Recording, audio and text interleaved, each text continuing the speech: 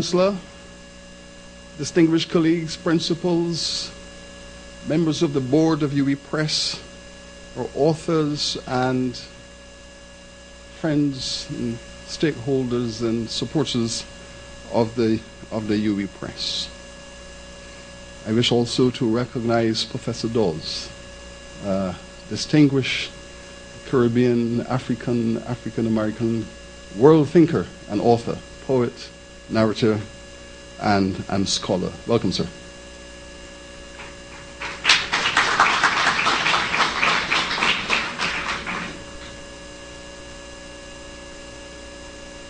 His words were as gentle as you can imagine, but they were unmistakably firm and not intended for discussion. In fact, they were an instruction, a command not to be questioned. I beg you do. D- do it for me. Don't let it die. I beg you. The unmistakable words of Rex Nettleford, Vice Chancellor, who called upon me with those scary and intimidating words, I beg you do. And all of you would know that when Rex wanted something done urgently, he would begin by, I, I beg you do. don't, don't let it die. And so I said, Yes, Vice Chancellor, I promise I will not let it die, but what is it that you wish me to prevent from dying? The press, dear boy, do with it what you must, but take care of it.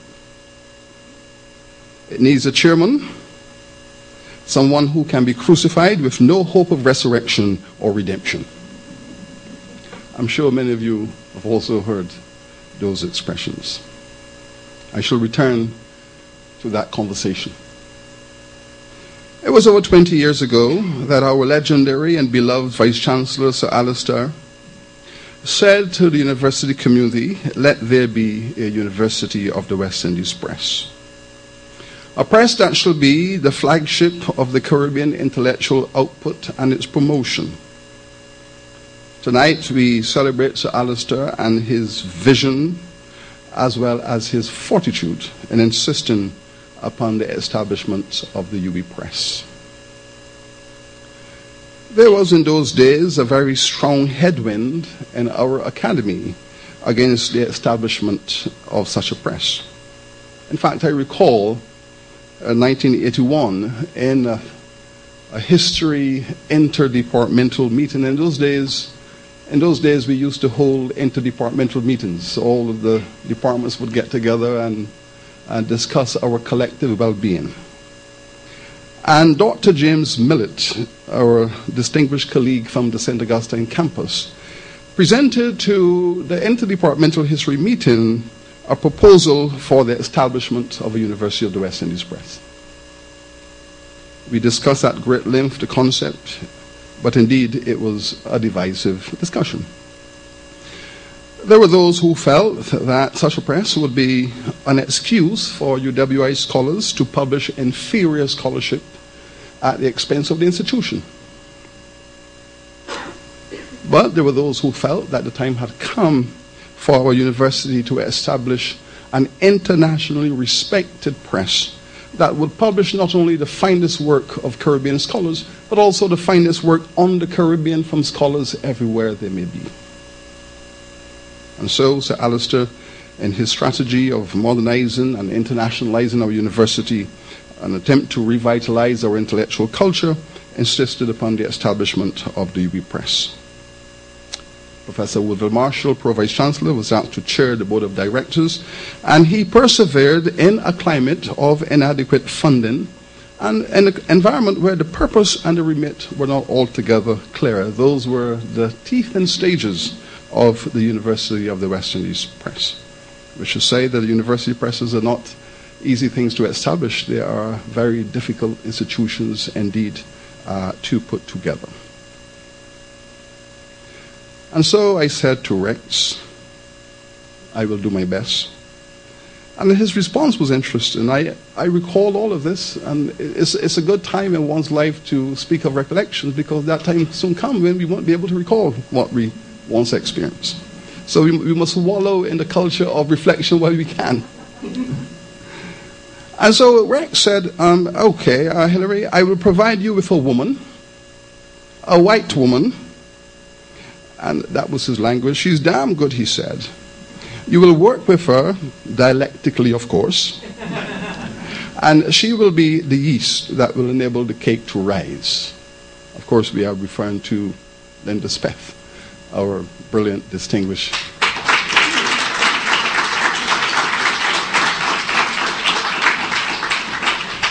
managing director. And so uh, the two of us uh, met, we hugged, we shook hands, and we agreed that we were shipmates on this, on this middle passage. And so it was 12, 13 years ago that we came together to do our best to ensure that the Vice Chancellor's vision uh, were held in, uh, in place and that all would be well. We must confess that we did feel a little intimidated by the prospect because to fail Rex was to be consigned to a one way ticket to Dante's hell. And so Linda Speth putting together a brilliant team, a brilliant team of editorial leaders, marketing specialists, distribution personnel, a wonderful, cohesive, and passionate team started out to modernize the University of the West Indies Press. And what was the remit? To establish a press of undeniable quality.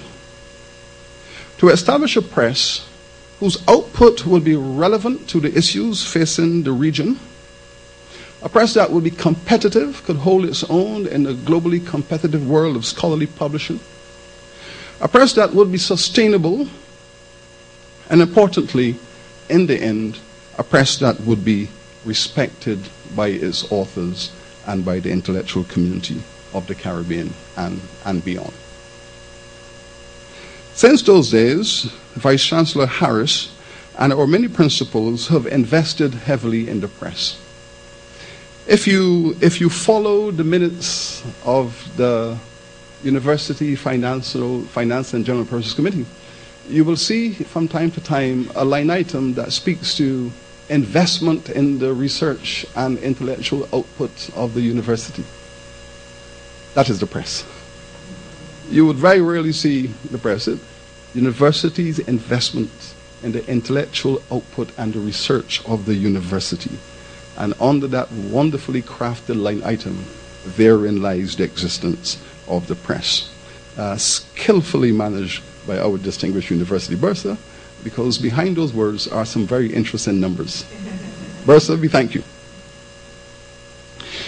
Vice Chancellor Harris has insisted upon the highest standards, strict financial and editorial reporting, and full accountability to financial, to FNGPC as well as to University Council. It is precisely this culture of accountability that has enabled the press, with scrutiny, with internal criticism, to grow from strength to strength. Three vice chancellors then, McIntyre, Nettleford, and Harris, have invested heavily in our press and in an environment of scarce financial resources. I believe that today, 20 years later, our press has become a symbol of the University of the West Indies' global reach and inward stretch. I believe that the University of the West Indies Press has enabled the finest ideas about the Caribbean and from within the Caribbean to be made available to a community of international readers. 20 years might be a short time in the corporate space of a university press, but 20 years is a time when university presses the world over are failing each day, being closed down each day. 20 years in this digital environment is a very long time indeed. And so we give thanks to Linda Speth and her team. We give thanks to the board of directors who are responsible for the policy affairs of this press to our Vice Chancellor, Vice Chancellor Harris, and to our principals who invest in our press, to our intellectual communities, to our writers, and to our readers. I welcome each and every one of you.